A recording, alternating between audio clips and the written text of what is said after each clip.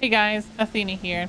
So today I'm with another video. Today we're doing a Dire Maul East. Now, you might notice that we kind of started in the middle of the dungeon. Uh, the main reason for this is I forgot to record immediately, so you didn't miss too much. We started at the beginning and we jumped straight down. We pulled the first set of whiplashers, ran them over to the second set of whiplashers with the three treants, and we pulled them together. So nothing unique or crazy. We're running with the same group that we did yesterday with the Upper City. So we have Delight as Consecrated Strikes. We have Azul as Righteous Flames Dragon's Breath. We have Ahamilla as Pop or Prayer of Preservation. Lab Labana is our Imp DPS, so it's Demonic Persistence. And me as Mana Forged Barrier, Mana Fiend. Now, in this route here, what you guys just saw is pretty straightforward.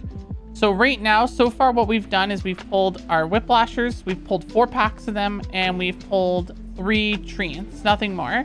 Now, the reason why I really wanted to cover this video, because this video isn't like super crazy in regards to speed. I mean, it's nine minutes, which is pretty impressive for an East, but like again, there's Easts that have already reached seven minutes I think one's right now for 7 minutes and 37 seconds.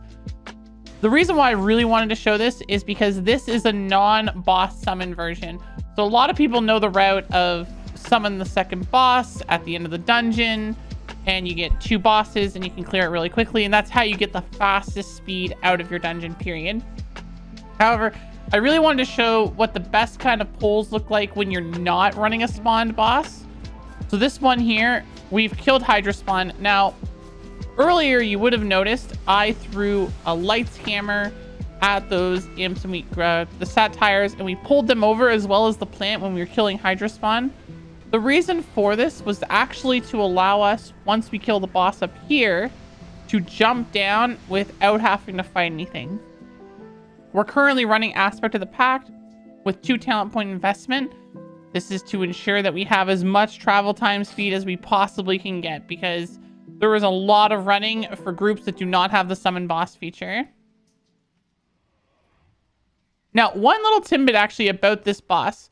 Apparently, over there on the left side by that pillar that's on the ground knocked over, if you do it properly with the tanking position and your DPS and healers are in the right position, you can actually line of sight the sacrifice. I don't know how it works. I don't know how to do it.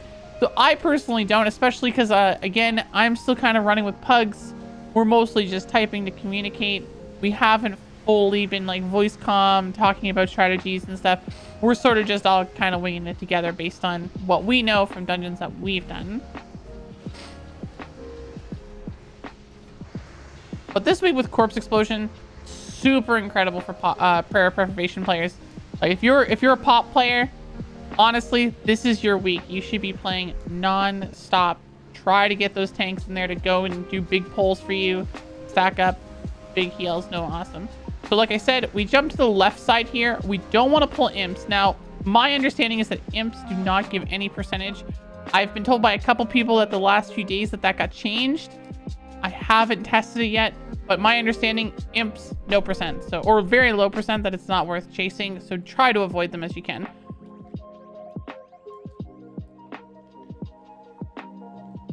Stealth packs here, so everyone waited.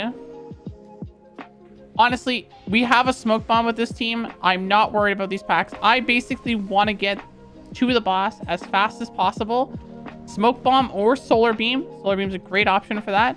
To get the ranged group so we can just cleave off the boss. As soon as we're done this boss here, a lot of the main focus that we need to do at this point is one of two ways.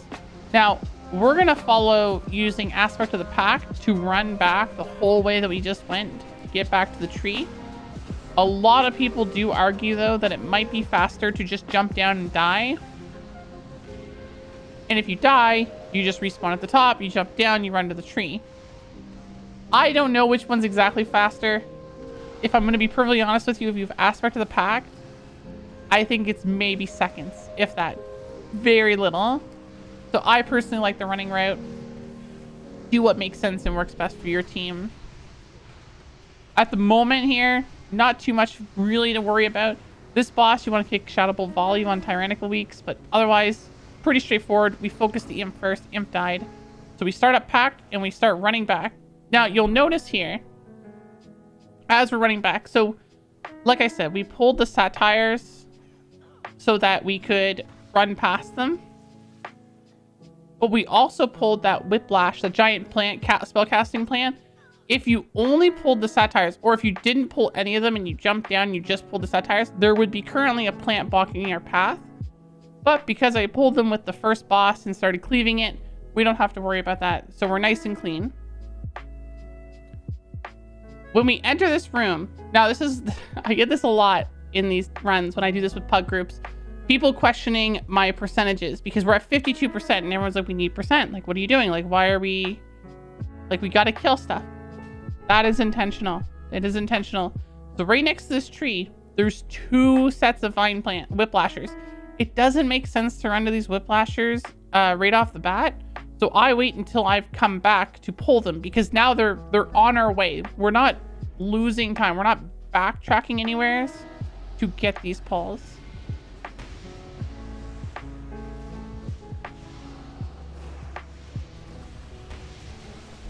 So we group up. We just get these perfectly killed. Nice and easy. Now, we still need a little bit more percentage. So we go over and we're going to pull a little bit more.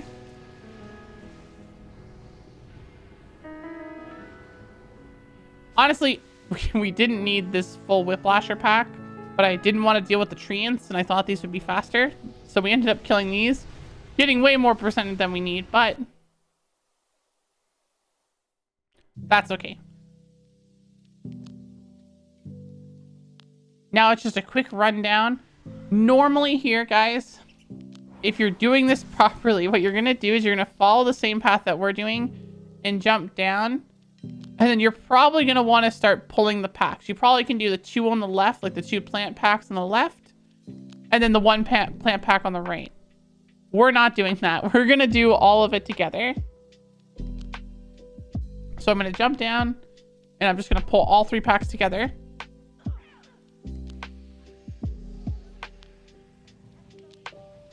One thing to keep in mind here that happens, you'll notice it, is Azel, who's our one of our best AoE pumpers, DCs.